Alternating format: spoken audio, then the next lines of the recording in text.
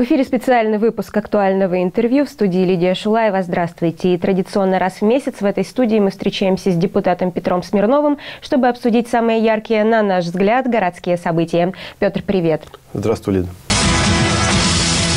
Предлагаю начать а, сегодняшний разговор с темы рекламных конструкций. Наконец прошел аукцион угу. на размещение рекламы на этих трех местах, всего трех, которые остались в городе. Расскажи об итогах этого аукциона и э, как теперь будет выглядеть наружная реклама в Сарове.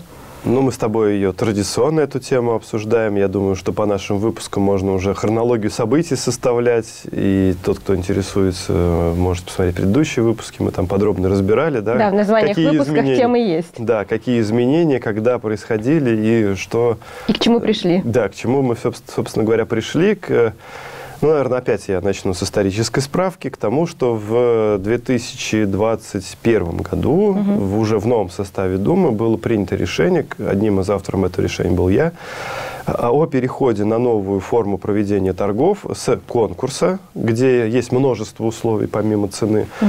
на аукцион. Где только деньги форму, решают. Где решают деньги и действуют нормативные акты, такие как закон о рекламе и положение о размещении рекламных конструкций на территории города, которые определяют форму, вид, угу. э, качество благоустройства, качество освещения, конструктивные особенности вот, именно наружной ну, рекламы. это понятно. Есть закон, есть ряд правил, да. а в основном, кто больше предложил денег, э, тот и получил рекламное место. Все так. И действительно, э, Цель была этого решения и этих изменений в том, чтобы э, более эффективно использовать возможности э, города по доходам в бюджет.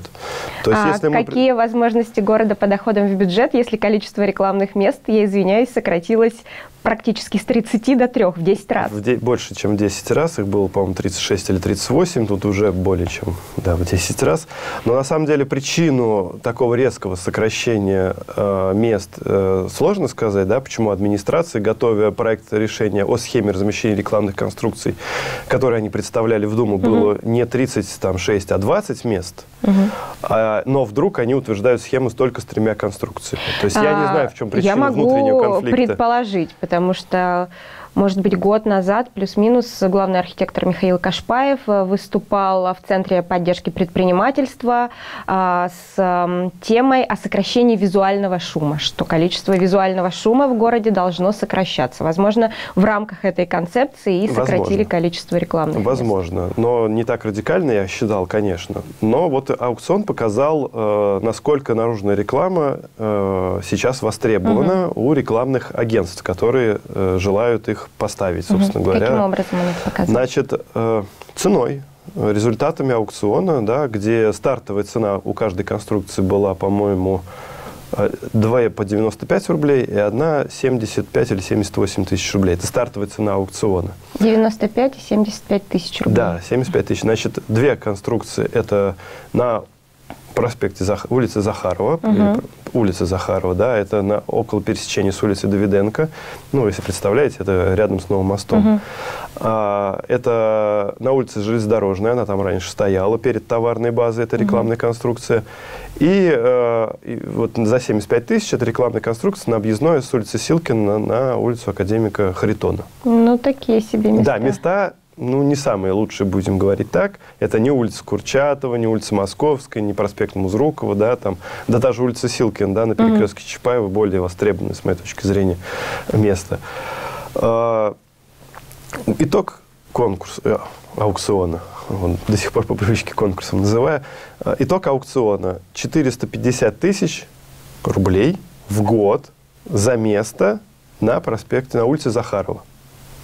Это с 95 тысяч? тысяч до 450. Это серьезно. Да. Почти в 430 тысяч за место на улице Железнодорожная. И почти 200 тысяч, без малого, э, за место на объездной с Силкина на Харитон. Угу. где там недалеко от газовой станции. А эти вот деньги вообще окупятся, я не знаю, на таких местах? Я когда читал экономику этого э, ну, как проекта, да, возможности там, размещения, моя максимальная сумма с точки зрения вообще возможной доходности, но ну, это именно местных да, рекламных mm-hmm. агентств, виделось, ну, не максимум 240 тысяч в год. То есть вот угу. для меня, ну, вот моя экономика, да, то есть если бы я А это 450 тысяч в год, то есть на 5 лет конкурс, да? да. А, а аукцион, я тоже по инерции конкурс, то есть это 450 надо на 5, 2,5 миллиона с места, да, получается? Ну вот если суммарно посмотреть, это миллион в год, э, чуть больше миллиона в год за три места, угу. да, при том, что, как правильно заметила там вот администрация, когда выпускала свой пресс-релиз, заметила о том, что с 38 мест в предыдущем конкурсе было 3 800. То так потому что 800. там был конкурс. Все правильно, все правильно, потому что тогда, как мы с тобой говорили уже неоднократно, победил не тот, кто дал больше денег, а тот, кто дал меньше всех денег, но какие-то другие условия, которые конкурсная комиссия угу. сочла более предпочтительными. Угу. Да? Значит, сейчас мы говорим, что если добавить еще 6 метров в городе, да, и сделать всего 12, то, в принципе, можно выйти на те же самые цифры, добавьте, кстати, места получше, и за них будет еще больше драк. А ты сказал э, такую фразу, что местным э, рекламным агентствам экономика неинтересна, то есть победили не местные? Да, победили э, не местные э, рекламные агентства. Честно говоря, сейчас я даже их название не вспомню, потому что ну, вся информация есть в открытом доступе, можешь, в принципе, угу. найти. Это действительно нижегородские рекламные агентства. Скорее всего, они это делают с точки зрения получения некого объема рекламных мест – то есть вот у них есть рекламные места в Нижнем Новгороде, там, в Арзамасе, в, Иксе, в Кстово, в Дивеево, в Дзержинске. Угу. И теперь они есть в Сарове. То угу. есть и когда они предлагают какому-нибудь рекламодателю, ну, например, МТС, условно, не реклама, да, а федералам, федералам каким-то, что сетям, у нас да. сетка такая. Угу. И они берут с них не за конкретное какое-то одно э, место размещения, да, там 100 рублей условно, угу. а берут там несколько миллионов рублей за весь объем угу. размещения. То есть это другая совершенно бизнес-модель, на которую наши местные рекламодатели, они ну, не рассчитывают. Угу. То есть они не имеют таких возможностей привлечения федеральных рекламодателей. Скорее, местные рекламные агентства встраиваются в, в эти федеральные истории да, к более крупным реклама, рекламным агентствам, которые у них выкупают места иногда, то есть для федеральной рекламы. Тогда у меня такой вопрос. Что же делать местному бизнесу? Потому что э, рекламно, реклама в интернете сейчас э, должна маркироваться, это очень сложно и некоторые некоторые просто от этого отказываются, чтобы не связываться. Наружная реклама, по сути, для местного бизнеса, она как таковая ушла, но остается только канал 16. Да, остаются, конечно, традиционные э, каналы распространения рекламы, как их называют. Это и традиционные СМИ, там как газета, телевидение, радио, э, и они никуда не уходят. Угу. Действительно, скорее всего, спрос переместит, спрос рекламодателей, естественно, переместится в эти э, источники, да. Ну, или, допустим, произойдет по-другому. Например, начнут обклеивать газели, угу. рекламными баннерами, как это уже у нас в городе происходит, и просто будут парковать газели на самых, э, так сказать, проездных, проходных точках, э, ну, такая замена. Создавая еще более некрасивый вот этот вот визуальный да, шум. Да, да, действительно, потому что газели используются явно не новые угу, и некрасивые, угу. а самые старые и убитые. Знаешь, у меня такое двоякое чувство. Я, конечно, как э, главный редактор традиционного СМИ, я рада в том плане, что реклама пойдет к нам э, на канал, в том числе и в наши группы ВКонтакте, потому что у нас есть э, все нормативные документы, чтобы соблюдать требования законодательства. И нашим рекламодателям не нужно заботиться о том, чтобы была маркировка, об этом заботиться заботимся мы, имейте в виду, дорогие рекламодатели. Но, с другой стороны, мне кажется, по бизнесу это все равно некий удар, потому что реклама – это двигатель торговли, так было всегда. И даже в Сарове, где сильно сарафанное радио, все равно реклама важна. Но мы с тобой это уже в прошлом выпуске обсуждали, потому что э, ситуация с сокращением, кардинальным сокращением количества рекламных мест – она плоха для всех. Угу. То есть э, всем э, с точки зрения, что и для бюджета, да, доходы бюджета падают, потому что у тебя ресурс сократился. И для рекламных агентств, потому что они не будут зарабатывать да, на этом виде угу. бизнеса. И для рекламодателей, которые, э, для которых есть потребность в размещении наружной рекламы. Мы это видим по газелям, угу. которые стоят в городе, да, уже появились. А, но они не могут цивилизованным путем да, реализовать эту возможность. И для них, например, не всегда интересны традиционные да, какие-то э, рекламные э, ресурсы, им вот нужно именно обязательно угу. вот баннер, именно наружка нужна, да. Поэтому, э, конечно, страдают все, и прикрываться тем, что мы вот тут боремся с информационным шумом за красоту города – Согласен, но давайте в меру да, подходить к этому вопросу и все-таки создавать цивилизованные условия для всех. Угу. То есть и не вредить собственному городу и бюджету в первую очередь. А скажи, пожалуйста, вот эта карта размещения рекламных конструкций, она пять лет, она не может Нет, быть конечно, в нее можно вносить Можно, изменения, и, насколько мне известно, в нее будут вноситься изменения, добавляться новые места. И очень важно то, что администрация в этот раз аукцион разыграла на каждое место отдельно. То есть одна конструкция, один лот. Не пакетами. Да, не было такого, что вот там э, 10-15 мест в одном лоте. Да, то есть А, то есть сейчас могут добавлять какие-то места по и одному, по два, по три, аукцион. на каждый из них проводить по отдельному аукциону. Сейчас предлагаю обсудить тему, которая напрямую затронет саровчан только через два года, но события уже начинают закручиваться. Это кадастровая стоимость квадратного метра жилой недвижимости. Насколько я знаю, сейчас рассматривается повышение в разы. Расскажи поподробнее, пожалуйста. Да, тема на самом деле очень важная, и не все догадываются как бы об истоках и о последствиях. Во-первых, надо понимать, что все, кто владеет квартирой, ну, просто я владею, например, там, какой-то недвижимостью, да, назовем это жилое помещение, квартира, дом, э, неважно, там, э, там доля в квартире, так или иначе. А у нее есть кадастровая стоимость, которая записана в едином государственном реестре недвижимости. И, именно от этой кадастровой стоимости от считается налог. Все правильно. Именно из этой кадастровой стоимости и считывается налог на имущество физических лиц, который платится э, в местный, в региональный бюджет. И, э, собственно говоря, чем выше ставка не меняется налога, она как была установлена, так она и и остается. Но база расчета налога кадастровой стоимости э, меняется кардинально. Мы с этим столкнулись, предприниматели Сарова столкнулись с этим, когда на нежилую недвижимость э, поднялась кадастровая стоимость, и налоги у некоторых в 40-50 раз выросли. Мы эту тему обсуждали в том Да, числе и и с это- тобой. Э, Проблема в том, что предприниматели очень чутко следят за своими налогами, за своим имуществом. И там разговор шел про имущество, которое не жилое. То есть это там цеха, здания, склады, торговые центры и так далее. Да? И они борются всегда, дока- пытаясь доказывать, что кадастровая оценка несправедлива или необъективна. э, Ну, помним, и идут да, в суды. Да, Идут в Думу. да, идут в Думу, который там, да, действительно, там идет им навстречу, дает скидки. Но когда речь касается множества людей, да, и это происходит достаточно скрыто, то есть вроде бы казалось, ну да, с предпринимателем у нас налажен диалог, Центр поддержки предпринимательства рассылает документы, предупреждает и так далее, что там, уважаемые предприниматели, обратите внимание, идет процесс перерасчета.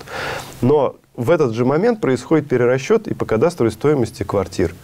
И жителям об этом почему-то никто не говорит, что там, уважаемые жители, ваша кадастровая стоимость вырастет в 2,5-3 раза. Вот. Но И- ты же как-то нашел эту информацию. да, тут просто случайным образом, вот опять же, да, Центр поддержки предпринимательства рассылает файл Excel в публичном доступе выложенный документ на сайте э, государственного учреждения «Кадастровая оценка» о том, что они провели переоценку и теперь принимают пожелания и предложения, так сказать, в, в определенный срок. Я открываю и смотрю, что там очень много квартир. И я начал искать, а какая же была кадастровая стоимость и какую новую они пред- при- применили. И выяснил тенденцию, которая, в принципе, достаточно упрощенная, очень сильно упрощенная. И выглядит она следующим образом. В старом районе это 78 тысяч с копейками за квадратный метр, а в новом районе это 102 тысячи за квадратный метр с копейкой. То есть кадастровая стоимость сейчас будет э, э, зависеть от э, территориального признака. По сути, э, кадастровая оценка ГБУ, государственное бюджетное учреждение, оно так и называется, приняли, видимо, такое взвешенное решение по дифференциации нашего города, что вот вроде в старом районе дешевле, а в новом районе дороже. Но при этом в новом районе есть здания достаточно старые. Да, и вот тут начались нюансы, как говорится, да. А, Я ради интереса посмотрел э, стоимость э, квартир в, именно в этом файле, да, в это, вот это, все эти объекты перечислены, и стоит напротив них цена, а, значит, кадастровая. А, Ну, например, улица Зернова, да, двухэтажные дома, без, а с каких-то там, да, даже без ванн, где у них ванны там, на кухне стоят. Вот. Э, Цена 102 тысячи за квадрат. Рядом стоит такой же дом, ну, не такой же, да, стоит дом, пятиэтажный, с мусорокамерой, со всем благоустройствами, видами и так далее, 90-х годов постройки, 102 тысячи за квадратный метр. Угу. То есть явно по качеству и типу жилья никакого дифференцирования не было. Так же, как, например, в старом районе, э, ну, как называют у нас, хрущевки, да, первых угу. типовых, первых типов, это вот с покатой крышей, да, и 70-х годов постройки дома уже, как Брежневки называют, или как-то они стоят одинаково, 78 тысяч за квадрат. Угу. Но есть, это но пока опять же, качество разное, угу. да? Это пока не утвержденный документ, это предложение. Пока по нет, но сроки внесения предложений упущены, к сожалению, да, потому что были, собирали предложение до 4 октября, этот срок прошел, и никто о нем даже, как говорится, не позаботился. Потому что коммерсанты-то позаботились, угу. потому что их собирали отдельно, им рассказывали, почему, как, из-за чего. И действительно, ГБУ, как его там все называют, да, они научились как-то дифференцировать э, коммерческий объект. Угу. Но вот жилье они не стали дифференцировать. Чем это грозит? Да? То есть каждый может найти, сколько он платит налог, ну и множить его просто на три раза. Вот когда это произойдет? Если все пойдет дальше, как идет, то эти, эту кадастровую оценку э, утвердят до Нового года – она вступит на следующий год, а срок уплаты налога на имущество через год еще, еще через, через год. через два года. Да, то есть э, это, уплата этого налога по этой новой кадастровой оценке произойдет в 2025 году. Скорее всего, единственный аргумент, который, э, которым руководствуются при вот таких действиях да, органы власти там, области, это о приведении кадастровой стоимости к рыночной стоимости. Угу. Вот.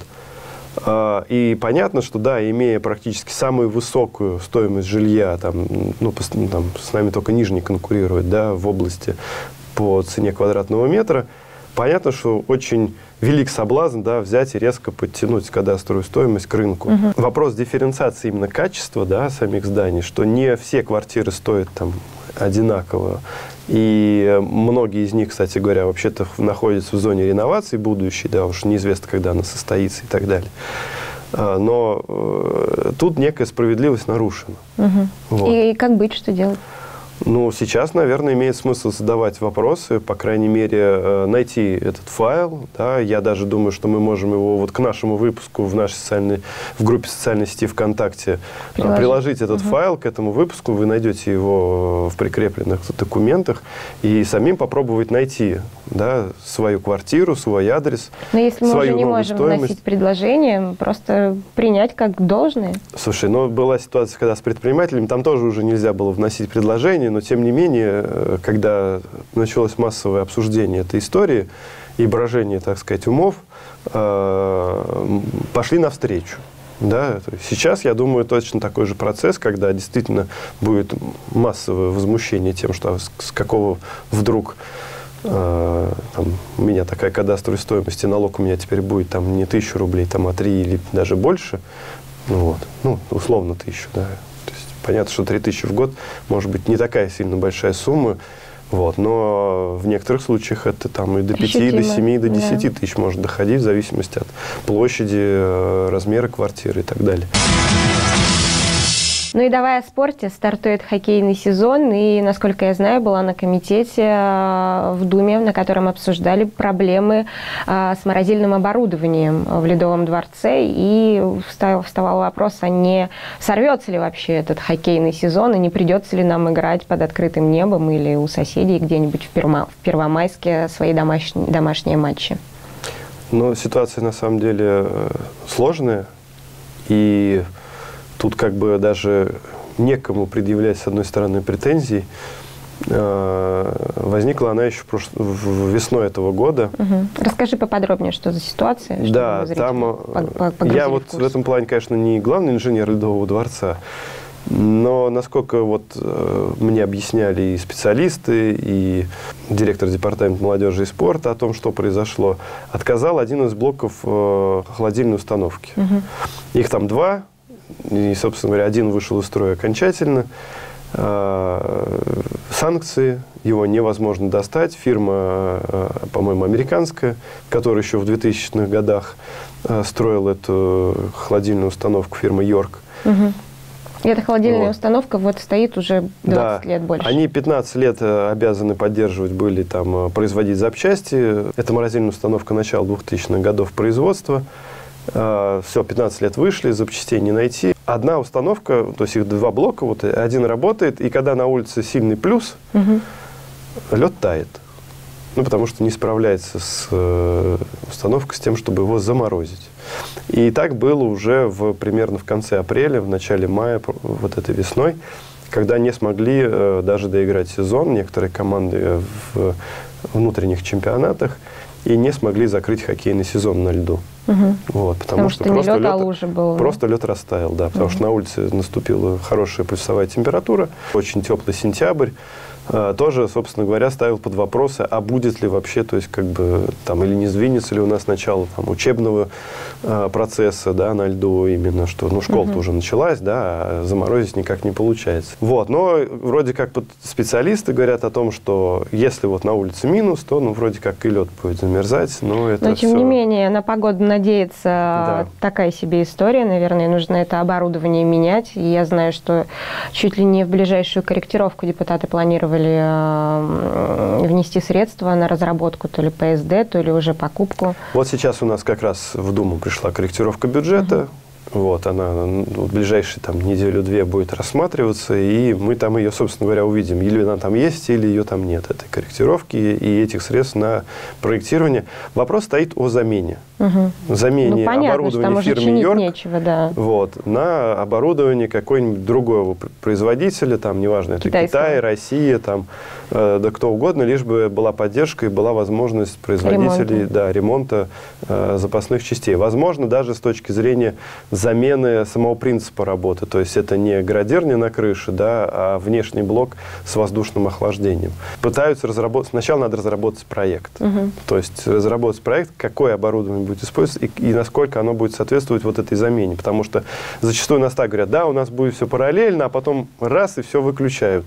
Потому что ну по-другому уже никак. Угу. То есть все выключают, дети поехали в Первомайск в Вардатов, вот. Так же, как и все соревнования да, домашние. А что такое домашний матч, например, хоккейного клуба «Саров» в чемпионате области? Ну, это просто саровчане никуда не поедут болеть за своих в, в соседние ездили. фоки. Мы ездили, но вспомни, что было, когда приехал туда Сеченов. Ну да. То есть, когда наши болельщики туда не поехали, но на Сеченовские приехали. То есть, по сути, команда лишится даже домашней арены и поддержки домашних э, зрителей. Да? Угу. Вот. Шестого игрока на поле лишится, это такая история. Ну, я думаю, что через месяц мы еще вернемся к этой теме и узнаем, а, как обстоят дела, будет ли ремонт, нашли ли деньги в бюджете. А пока давай непосредственно к самому хоккейному сезону, как э, готовность команды, как твое твое ощущение по отношению к нашим игрокам? Ждать ли победы? Ждать ли ярких игр? Ну, во-первых, да, и произошли э, небольшие, будем говорить так, изменения в команде. Сменился главный тренер, теперь это Сергей Витальевич Кулебакин. Угу. Он же да, заместитель директора Ледового дворца по учебной работе. Угу. То есть, собственно говоря, тренер в хоккейной школы. А, по поводу состава, по-моему, там не сильно много изменений. Вот, но остались все, э, кто хотел, как говорится, играть в хоккей, да, и э, действительно состав есть, э, и интерес к продолжению участия хоккейного клуба в чемпионате области есть. Первую игру играют в Сечино, игра, собственно говоря, победители предыдущего чемпионата с вторым местом, да, то есть вот добились того, что мы как бы такой должны матч-реванш сыграть, но на их э, поляне, mm-hmm. да, и Сеченов это всегда очень тяжелый выезд. Мы знаем, что сеченовские болельщики это прям помрачительные болельщики, им всем большой привет. Вот, я их очень люблю и уважаю, это вот за их боление, да. Важно то, что и наш как бы костяк болельщический, он остался, он крепок, дружен и готов к сезону, и как бы все готовы ехать, в том числе и в Сечину, на первый матч поддерживать. Ну, а мы традиционно проведем первую трансляцию хоккейного матча 28 Домашнего. октября, домашней игры. Первая домашняя игра. Я думаю, что расписание вы найдете, расписание матча найдете в группе хоккейного клуба «Саров». Вот. Сейчас я точно не помню просто, с кем мы первую игру играем, домашнюю игру, mm-hmm. да. Но традиционно все игры постараемся оттранслировать в прямом эфире. Если вы не сможете попасть в Ледовый дворец, то 28 всегда... октября в Ледовом дворце и на наших площадках. И на наших площадках, да. Пожалуйста, и подписывайтесь и не пропустите нашу первую игру. Угу. Спасибо за ответ. Как всегда, было информативно и интересно. Ну а с вами увидимся на канале 16. Пока-пока. До свидания.